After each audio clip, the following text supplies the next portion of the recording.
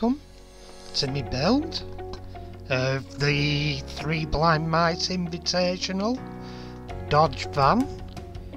And what a casting this is! It weighs an absolute ton. And the paint, I think the paint was half of the weight because of the decals and the clear coat on top, which when you get to the end you'll see I've not been far off similar myself. It's only a very quick video this.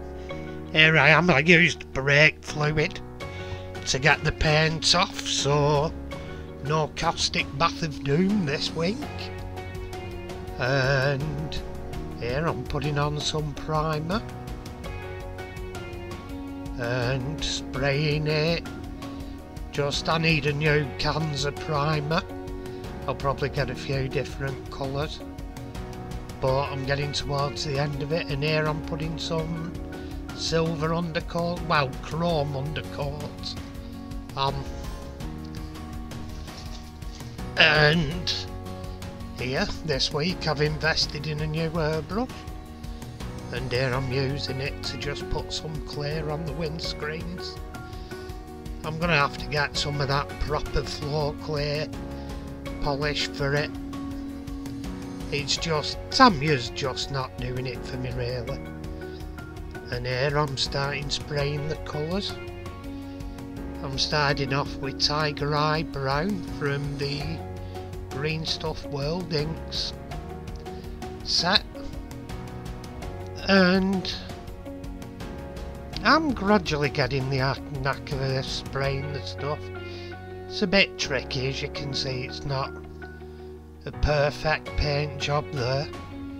I don't get a perfect paint job, but there's a lot of steep learning curves here I'm getting used to and this month I've had a very short time period, I've only had today to work on it, and I've been planning a decal workout, uh, decal layout, making my own decals, and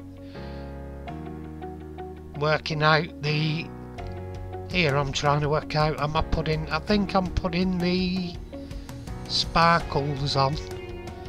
Basically, the mirror flake and I'm having to work out about the way of spraying that to be honest as I say it's only very short this because I've not had a lot of time today. I've had a lot of new ideas.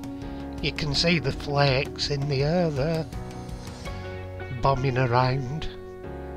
I'm not kidding my bedroom's like a furry bloody castle now. And here we are I'm peeling off masking because I wanted a clear surface for decals to go over. My homemade decals. I've fancied trying this for a while to make murals on custom vans. And I'm just touching, I've touched in actually. I'm just doing chrome detailing on it now. Not fantastically, but oh, it's only a quick go today. I've got some, I finish up with quite a nice job. Some aspects could be better with more time. Anyway, here comes the finished result. And you can see them multicoloured flakes glittering. Looks really nice on dark paints you just see all the colours of the rainbow glitter in it as light catches it. I've not got the best lights on this to capture it with, but you can see them as they catch the light. There you go. Particularly on the back there. I've got to find a, a brush that'll... I think I need a bigger one than a 0.3 milli and I'll probably be better off with a gravity feed and stuff. I've got to find a better way of laying it down, but the basic idea's there, I suppose. It looks quite nice. Anyway, all I have to say at the moment, if you've enjoyed it and it's only been a quick one, please subscribe, even better.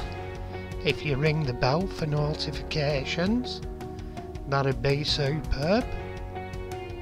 Um, we'll just carry on looking at it for now. As it rotisseries round, here we are, I've moved it so the light catches a bit better and hits the sparkles so you can see all the colours reflecting. Once I get the technique down it should provide some really beautiful paint jobs to be honest, some custom ones with a mirror flake. I've got a big bag of it so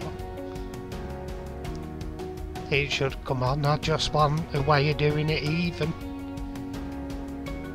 because it does make it quite a pretty build. I think if I'd have had just that little bit more time, I could have done a nicer job to work out. Not, I'm happy with the side decals, but I'd have liked to work out a nicer one for the rear and something on the front panel. But as things go, I think it's turned out quite nice. And all in all, a pretty good effort, I think. Anyway, catch you on my next vid, and bye for now.